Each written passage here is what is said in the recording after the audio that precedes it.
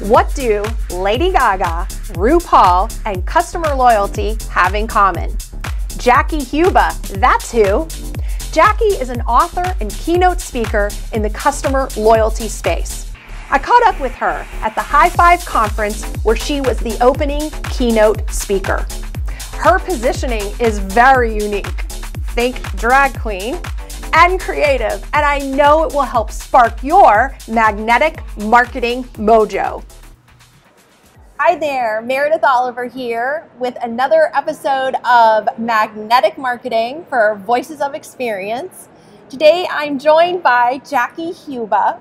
Jackie may be new to some of you out there at the National Speakers Association, but she is an amazing keynote speaker and author.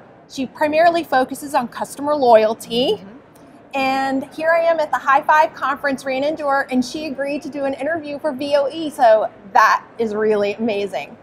So, Jackie, we're going to talk about magnetic marketing and how do you go about marketing yourself as a speaker? How do you recommend that speakers get out there and get their message out so they can get hired, get booked, and get paid? Yeah, so if I've been doing this for about 16 years, right? And so I am an author. I have four books. And I kind of learned after going through my two first books, and a book is a great, great vehicle, first of all, because it allows you to kind of get out your ideas, it allows people to really understand what you're all about and what you believe in, and then they want to see it live, right? right? They want to see what's going on. And I've learned a long time ago as a speaker, which all of your audience already knows, part of it is the content, and the other part is can you be entertaining, can you be interesting, can you be engaging on, yeah. on a stage? Right. Um, but for the content to be compelling, I learned after my first two books, which I, to me, honestly, they were just very much like other marketing books and customer loyalty with my case studies and my great ideas. Um, and we got great feedback to it.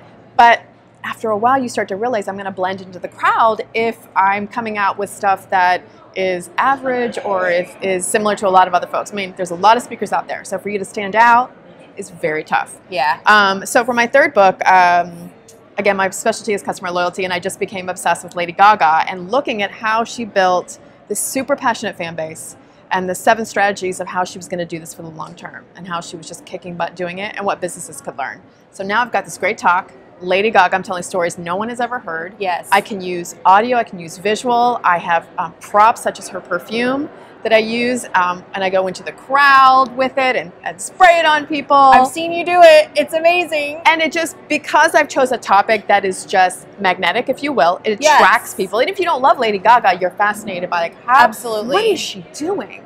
Um, and so that's a talk worth talking about.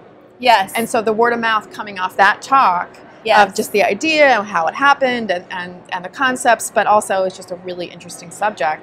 That has led to a lot of talks on that. So that yeah. monster loyalty talk is amazing based off the book. And I just kept going. So you can not you can you can probably imagine there's not a big uh, long connection between Lady Gaga and drag queen. So my next book is called Fiercely You: Be Fabulous and Confident by Thinking Like a Drag Queen. Yeah. And I at first I was like, oh, this is a really odd topic to write about um, from a business standpoint or a self-help standpoint studying drag queens right? But um, fascinating. I think but people are fascinated no one else is doing it. Right. And that's really so it's a matter it sounds like to me you developed content but you developed a hook around that content to make it the magnetic to make it right. interesting and different. Right. There's so many more stories. And even in my talks, I'm weaving in business examples. Absolutely. Even with drag queens. Yeah. So when I was watching your keynote this morning, I saw you talking about uh, Yeti coolers. And it was a fabulous business case study. Mm-hmm. Even though you were talking about being fiercely you mm-hmm. and using drag queen examples, it mm-hmm. all came mm-hmm. together brilliantly. Mm-hmm. Yeah, yeah, really did. Thank you. And um, but I think pushing the limit. Uh, the talk I did this morning was about how to be a bold brand. So yes. I think about like how to apply that to myself yes. as well. Yes. And how can I push the limits? And one thing I didn't do today, the last time I gave this talk, I did it in drag. Oh wow, that's yes. bold. I came out. I was in Vegas. So I thought I could take some license. Um, and it was 600 marketers at a marketing conference. Um, yeah. And I decided to just come out as if I was a drag queen in the wrong room. Wow. And I was lip syncing and I'm doing my whole thing and I'm oh up I'm up on stage um, just l- like I'm pretending I'm at a drag show. Yeah. Yeah. Um, and when they introduced me, uh, they had said that Jackie was running late but she has sent someone to start the talk without her, and she'll be right here. Oh, that's please fantastic. welcome, please welcome Lady Trinity, which is my drag persona. Right. Right, and so full on hair, makeup, sequin cat suit. Um, and as, after I was up there, I was like, "Yo, DJ, you DJ, stop the music! I must be in the wrong place." And I went through this whole thing like, "Oh, I'm in the wrong place." Yeah. Bye, Felicia. Ran off Uh huh.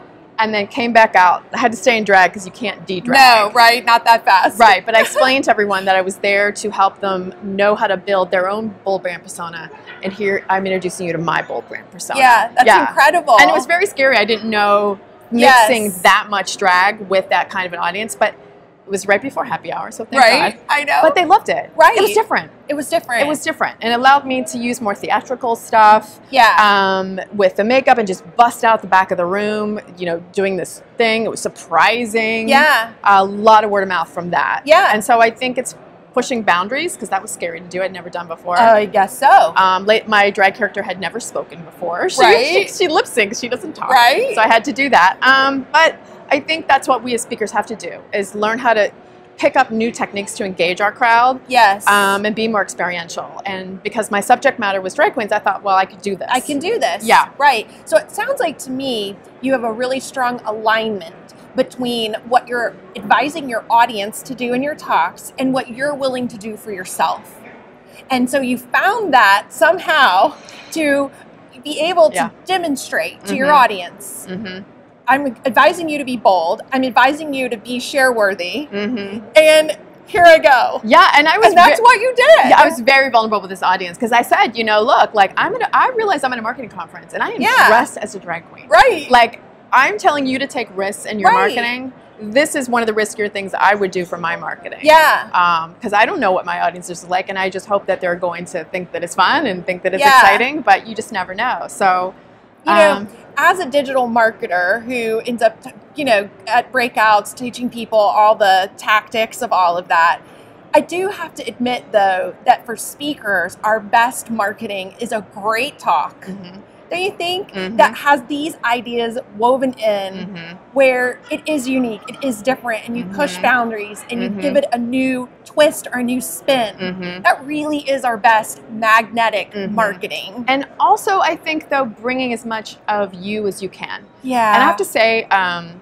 I've had a couple different speaking coaches over the year, and my over the years, my last one uh, was amazing. And what she helped me do was realize, like, I need to take those things that make me me yes. and push them through yes. into the talk. Yes. Um, and I love music, and I love dance, and I love colors, and I love all of that. Yeah. But for a long time as a speaker, I felt I needed to be more buttoned up uh-huh. because I thought that's what I it was expected. Me too. And um, over the years, I've come to realize no. No. Showcase this weirdness, showcase this craziness because it's fun and it's engaging. so I hope everybody out there listening, if you're uh, checking out our VOE episode this time, I just am so thankful that Jackie took a few minutes to get with us. I know she might be new to a lot of you out there. So, Jackie, tell us your website, your Twitter handle. NSA Nation, you need to be following this woman. She is one of the hottest keynoters in marketing, sales, customer experience, and loyalty. And you need to get to know her. So, Oh, tell us how to contact you. Thanks. It's all Jackie Huba. JackieHuba.com, Jackie Huba on Twitter, Jackie Huba on Instagram, Facebook, all of that. So Yeah. you Google Jackie Huba, you will see it all. You will find it all. And let me tell you, as nice off the platform as on the platform, um, I appreciate you Oh. stopping by to talk to me. Thank you for having me, Meredith. You're Appreciate it. welcome. Thank you.